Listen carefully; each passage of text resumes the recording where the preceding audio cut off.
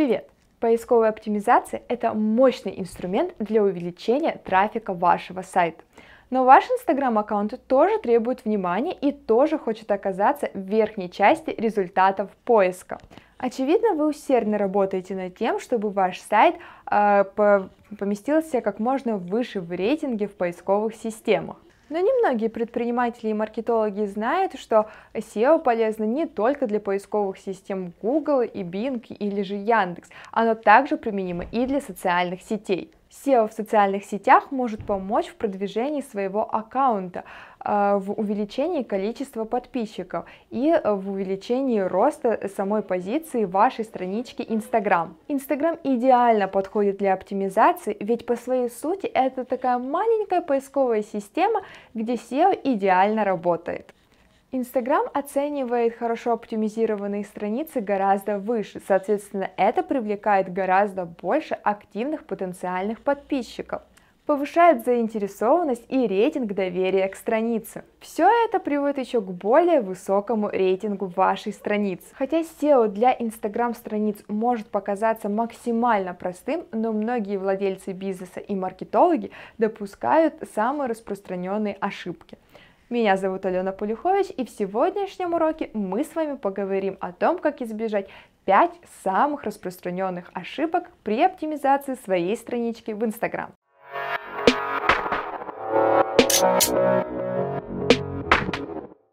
Во-первых, все, что вы загружаете в Инстаграм, должно быть логичным.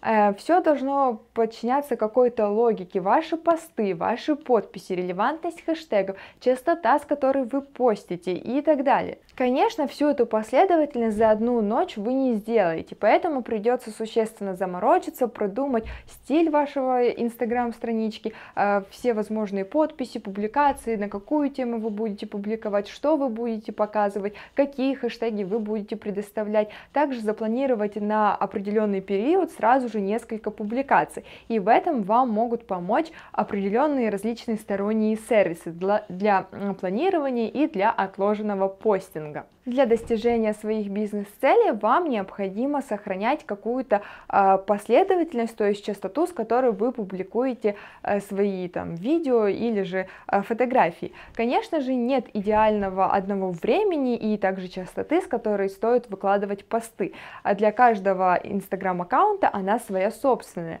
но абсолютно ничего не мешает вам вывести идеальное время и идеальное количество публикаций конкретно в вашем случае. Просто тестируйте и анализируйте. Вторая распространенная ошибка – это хэштеги. Вы обязательно должны использовать хэштеги, которые связаны с вашим бизнесом, с вашими услугами или же с вашими товарами. Хэштеги – это своего рода поисковые ключи. И казалось бы, что сложного в выборе хэштегов.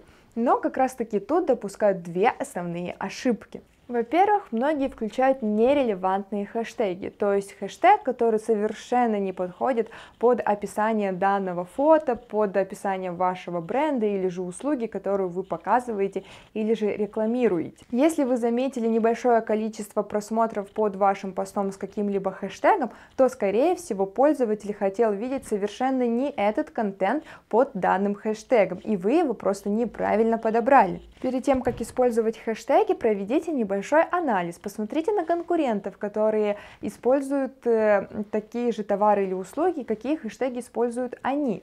Также не выбирайте хэштеги с огромным количеством а, показов разного контента. Например, если вы видите хэштеги, у него 100 тысяч а, использований, то, скорее всего, ваш контент просто затеряется среди такого огромного количества постов. Например, представим, что вы владелец кафе. Вы сделали очень крутой кадр с чашкой латы, но хотите использовать какой-то популярный хэштег. И вы такие берете и ставите хэштег, например, Оскар 2020. И что мы видим? Что очень мало людей вообще просматривают, лайкают, взаимодействуют как-то с вашей публикацией. И вот еще один маленький лайфхак. Никогда не оставляйте в стороне э, брендовые хэштеги, название вашей кофейни, ну, что-нибудь в этом духе. Потому что если у вас огромный бизнес, то, скорее всего, вас будут искать именно по бренду. Другая же крайность это то, что люди вообще не используют хэштеги, и это грубейшая ошибка. Ведь с помощью хэштегов люди находят именно вас, ваш товар или же вашу услугу. И вот здесь, кстати, тоже есть такой маленький лайфхак. Не нужно использовать для каждого поста, для каждой публикации одну и ту же группу хэштегов, потому что Инстаграм это считает спамом. Третья распространенная ошибка это вы не меняете геолокацию.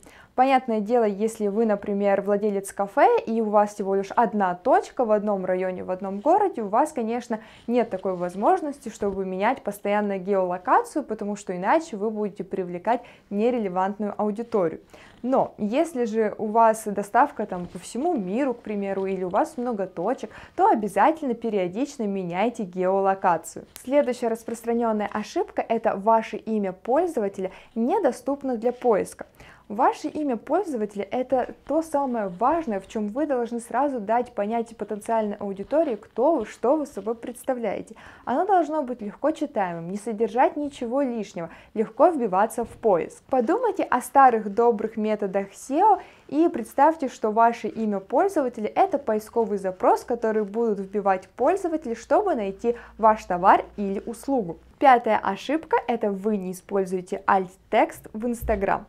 Изначально alt-текст был придуман для того, чтобы люди с ослабленным зрением смогли также наравне с другими наслаждаться контентом в Инстаграме. Ну а теперь маркетологи используют это для оптимизации странички. Чтобы найти данный инструмент, при публикации нового контента просто прокрутите вниз страницы до дополнительных настроек, э, пока вы не найдете добавить альтернативный текст нажимаете туда, ну и добавляете описание, то есть полностью опишите, что происходит на картинке. Например, если вы публикуете э, жгучую брюнетку с длинными черными волосами, напишите длинноволосая брюнетка с черными волосами.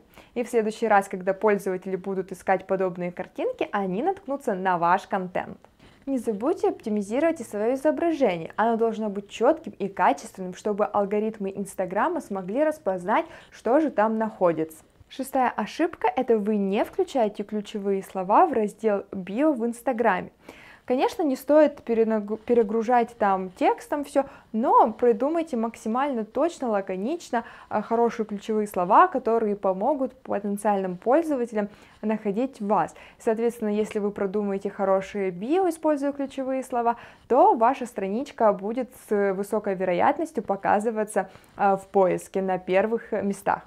Ну и, конечно, когда вы пишете описание под фото, вы также можете и даже нужно использовать ключевые слова. Конечно, не нужно это делать бездумно и нечитабельно, вы можете взять пару-тройку ключевых слов и раскидать их по тексту поста. SEO это не ракета строения. Все, что вам нужно, это применять а, ваши знания по SEO для социальных сетей и переносить их туда, и избежать, избегать самых типичных ошибок. Какие бы цели перед собой в маркетинге Instagram вы не ставили, вы должны помнить, что SEO важно как в социальных сетях, так и на внешних веб-сайтах. Оптимизация влияет на общий рейтинг страниц Instagram, а также на видимость вашей страницы для других пользователей. Пишите, задавайте свои вопросики, пишите, что и знали нового и интересного. Не забывайте делиться нашими аудиоподкастами, а, видео на ютубе со своими друзьями. Подписывайтесь на нас в социальных сетях, на наш инстаграм-канал, а, добавляйтесь в нашу телеграм-группу, подписывайтесь на наш ютуб канал и на наши аудиоподкасты.